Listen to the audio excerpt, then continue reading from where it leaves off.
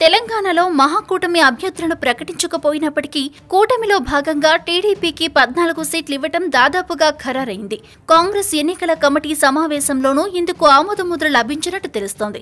గురువారం జరిగిన రాహుల్ గాంధీ చంద్రబాబు సమావేశంలో ఈ అంశం చర్చకు వచ్చినట్టు వార్తలు వినిపించాయి. గత ఎన్నికల్లో పదిహేను స్థానాల్లో గెలిచిన టీడీపీకి ఈసారి పద్నాలుగు సీట్లు ఇవ్వాలని కాంగ్రెస్ నిర్ణయించుకుంది.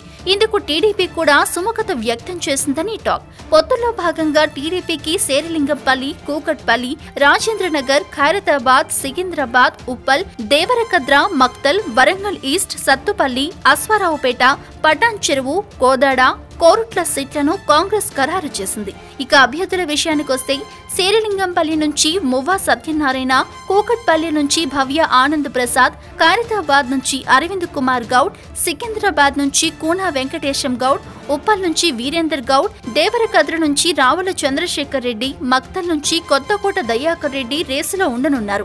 ఇక వరంగల్ ఈస్ట్ నుంచి రేవూరి ప్రకాష్ రెడ్డి సత్తుపల్లి నుంచి సిట్టింగ్ ఎమ్మెల్యే సండ్ర వెంకట వీరయ్య ఆసారావుపేట నుంచి నాగేశ్వరరావు పటాన్ చెరువు నుంచి నందీశ్వర్ గౌడ్ కోదాడ నుంచి బొల్లం మల్లయ్య యాదవ్ కోరుట్ల నుంచి ఎల్ రమణ రాజేంద్ర నగర్ నుంచి సామభూపాల్ రెడ్డికి టికెట్ దాదాపుగా ఖరారైనట్టు సమాచారం. అయితే కూకట్పల్లి సీటును పెద్దిరెడ్డి ఆశిస్తుండటం ఖమ్మం అసెంబ్లీ నుంచి నామా నాగేశ్వరరావు బరిలో నిలవాలని భావిస్తున్న నేపథ్యంలో తుది జాబితాలో మళ్ళీ మార్పులుంటాయనే ప్రచారం కూడా జరుగుతోంది.